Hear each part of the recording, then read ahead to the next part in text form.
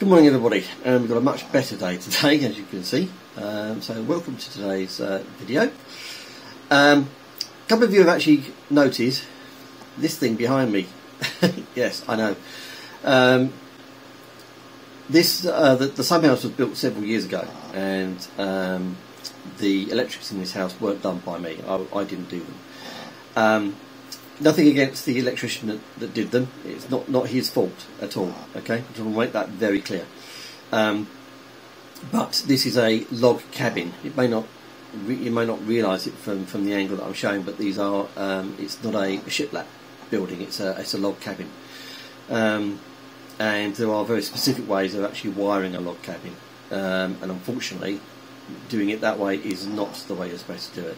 As you can see, each of these logs has expanded or contracted over the years, and that's it was straight. In fact, I don't you probably can't see it, but there is a pencil line, a straight pencil line, where it was, and over the years it's warped and it's warped the cable.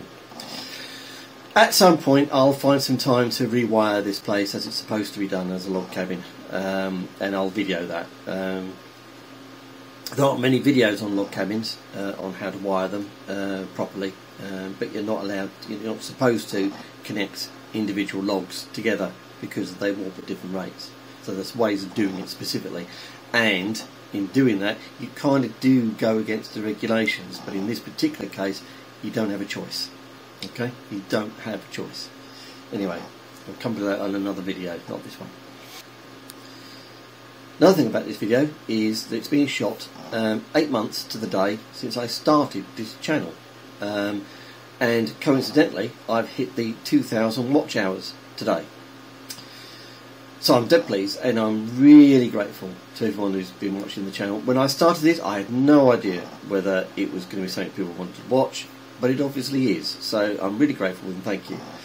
Um, there'll be. I'm hoping to really put together some interesting content over the, over the especially over the next few days up to the run up to Christmas, um, and hopefully next year I'll be better able to do more work. That this summer is getting better, um, and we'll get some really interesting stuff going.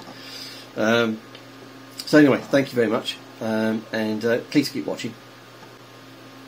So I've been very lucky with this particular client. client is allowed me to do a bit of experimentation uh, with the undercovered lights. You can get pre-built lights to go under cupboards and, you know, done deal. But in this particular case, um, because of the way the cupboards are done, um, I thought actually doing them uh, as a bespoke system would have been uh, a better way to do it. Now you will no- um, notice that things didn't go according to plan, really.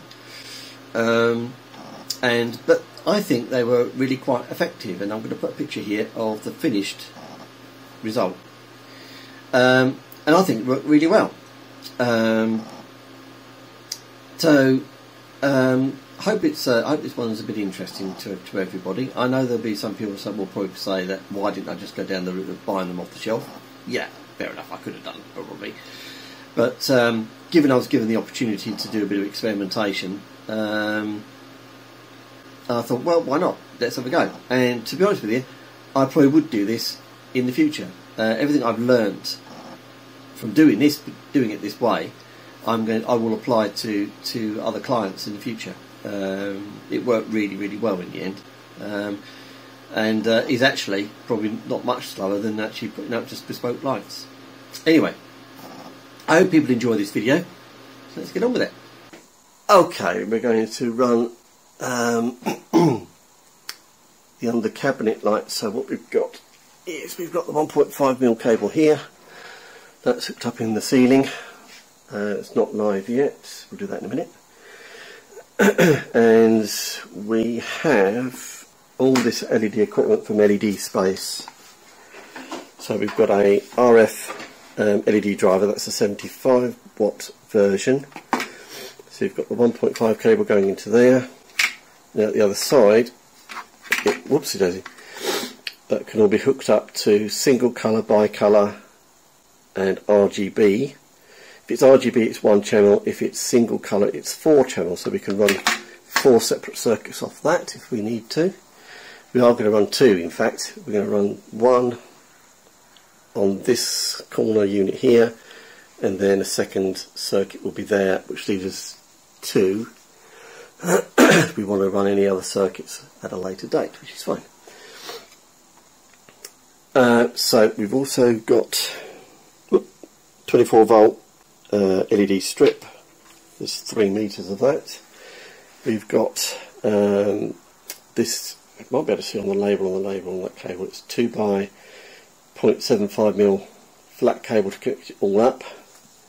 And somewhere we've actually got oh, a wireless, sorry, an RF uh, dimmer switch, which just sits on the tabletop that's powered by a, ooh, I've lost it, there it is, uh, just powered by a standard um, watch or um, smoke alarm type battery that's in the back of that. Uh, so what we're going to do at the moment, we're going to test out, make sure this LED strip is all working. Um, you know, usual Christmas light flash fashion, make sure no, no dead LED spots on it. So we'll hook that up into the driver and the driver will sit on top of the cabinets run down the back of the cabinets with the white cable um, hook them up. We've actually got I've lost them. There we are. We've got these clips which one end clips onto the LED strip one end clips onto that white cable. So we've got those to make it nice and easy. Uh, and up in the loft I'm going to hook up that twin and earth uh, into the main circuit using those quick connects which I've got. Again, I've put down some and I've lost them. I'll put them down somewhere, they're around here somewhere. There they are. Uh, there should be one left in here. Yep, there it is. So we'll hook that up um, in the loft and that'll be, we'll liven that up and then we'll pair that dimmer switch to this driver and in here just about see it's right down the back there there's the button to match it with um, so we'll do that. So yeah so that's make is that. That's a Skydance um, you can just about see the model number on there. Um, so yes yeah, so we'll hook that all up. Get it tested. Um, the aluminium extrusions are coming this morning um, in two two metre lengths with all the end caps and stuff. So we'll get those in and then we'll cut them to length. Um, and then basically this strip um, sticks inside those extrusions um, and then there's covers to go on top of it uh, uh, covers, diffusers to go on the top which hopefully if the advertising holds up and what I've seen will mean it won't be it won't look like there's individual LEDs it look like just one solid light. Uh, so we'll get on with that. We'll get these cables put down the back of there and stripped and we'll see if it all works. Uh, what we've got here we've got all these get those clamps out of the way got this clamp which we're going to put on. Oh just a joke that's been done in there. Oops there we go, that's in there. Uh, we're using one um, channel at the moment, the, matching switch is over there, so we're getting that down on there there. Um, yeah, uh, the only downside with this was that the clamping bar is missing there for that cable, but with that closed, um, and being that this is a 24 volt cable, I'm not overly concerned about that to be honest. That's as you see that lid's going to close down quite tightly on that anyway. So anyway, um, just a thing. Um, so this needs to be clamped on, so it works that way around. So that clamps onto the LED strip, that then clamps onto the cable. If you can just about see, if this will focus, it's like uh, connecting data cables. So those you don't you need to strip the outer sheath obviously, but you don't need to strip the inner sheath cables, and then it all clamps down. So that bit clamps down. If I just bring the LED strip up. I'm testing the LED strips and nothing's been cut to length yet, so I'm just testing to make sure everything works. So you can see you cut all those bits there um, and then it clamps onto those. So we'll get that all clamped up, uh, then that bit's done down here and then I'll go up into the loft and we'll um, get the power off to the lighting circuit and get this uh, clamped in and then matched up and then hopefully it all works and if it all works great then we can start getting the cables to the right length. okay, so here we are back in the loft, so that's the cable going down to the cupboard lights, cabinet lights rather, sorry. Um, here's the um, one we did the other day. I've just cut into the whoops lighting circuit there. That light that's going down to the well, that's going down to the lounge light and then back to the board. So we've just intercepted that, and we're going to hook up that into those three. Um, I'm just trying to get the cabinet lights up to working at the moment, so we might have to increase the length of that to give us the more space that we need. So, um, yeah, but well, let's get these powered up and then, then we can tidy up up here in a minute. right, so we're all hooked up now. Um, as you can see, we've got a nice red light on the transformer all the way down to the cabling so we can test out the lights. Um, this connector is is is nice, but it is a bit of a faff you have to make sure you clamp down this side with a pair of pliers to make sure you break through the insulation. Um, first time we tried this we didn't and it, nothing happened. Um, so we tested all the, to make sure we had 24 volts coming through there and uh, this actually paired up successfully, which it had. So to pair it, um, you have to press that button there and that will flash and then you press this button and it will pair up which it has. As you can see, we're all lit up. This is a dimmable control panel. You can either rotate it to dim, up or down, or you can press and hold. It goes up, press and hold again. It goes down, press and hold. Let's bring it up a bit. Short press and short press. It all works.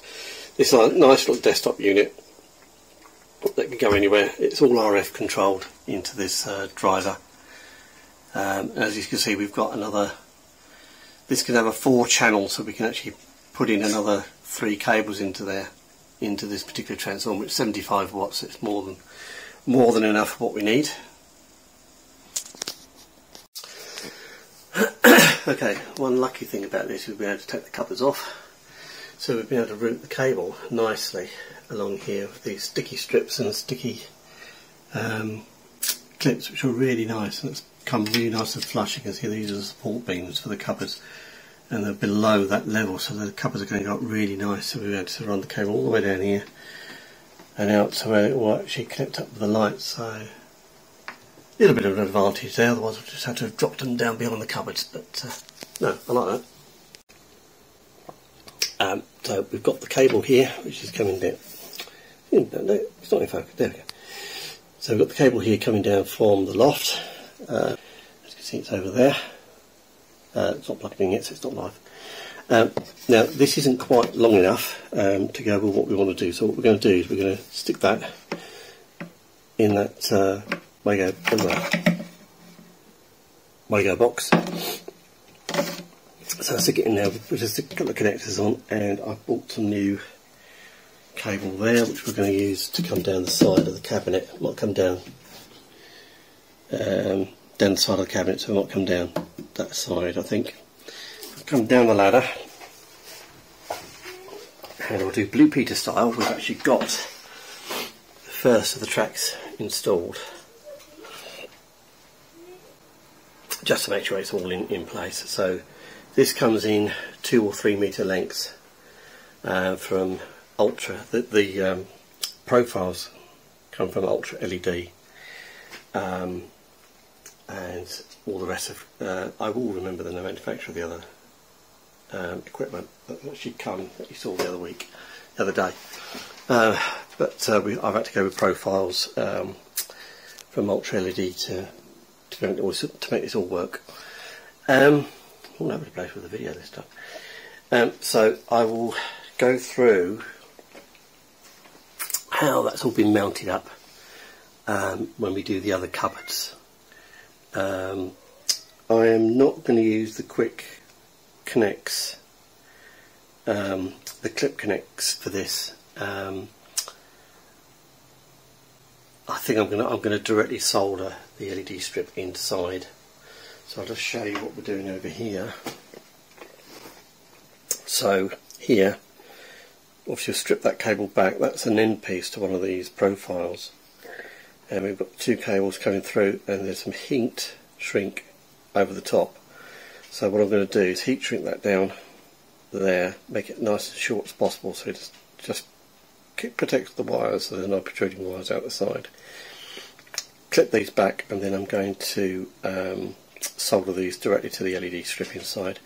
I just think it's going to look better. I think we can get the LED strip right to the edges then rather than using oops, those. Um, it was a good idea but I just don't think it's going to work so as I say I'm going to solder those into place um, so that'll be fine.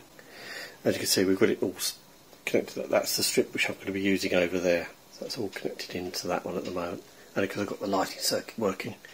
It's 24 volts but uh, just to be safe. Uh, right, so hook up those cables up there, run them down the um, hook the cables up there, run them down behind the cupboard and I'll put them into that so it's all done and then we'll get it soldered up later. Okay, so there we are, that's all hooked in, a couple of Wago connectors in there and I've uh, that end of the cable because it was stranded so I put some ferrules on that, 0.75 ferrules. That cable's now running down there and got the right length and runs into the end of that light fitting, so that bit's done. Okay, so I'll just take you through this. This is what you get from uh, Ultra LED, uh, based out of Trafford. So you get two metre lengths of this uh, aluminium. This one is one of their smaller sizes. Um, it's uh, reasonably easy to cut. I've got a engineering hacksaw. There we go.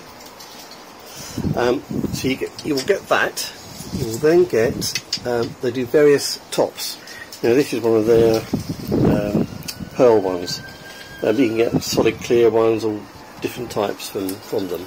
And again that's cut and then clipped into place on there. Uh, and then you can also buy uh, the clips that are attached to the base of the cabinets which I'll show you in a minute. Um, and then there's end pieces to go uh, blanks, blank to go on that end maybe. Another end um, has a hole which 2.7 mil cables, conductors will go through. Um, so yeah, so that's it's ideal for this. Uh, the tape that's going in there, the LED strip tape, I believe is 8 mil, so it will fit nicely in there. Um, I think if you're doing RGBs or say 10 or 12, this probably wouldn't do it. You probably need the bigger one. Um, anyway, we'll get this cut with that engineering hacksaw and then we'll go from there.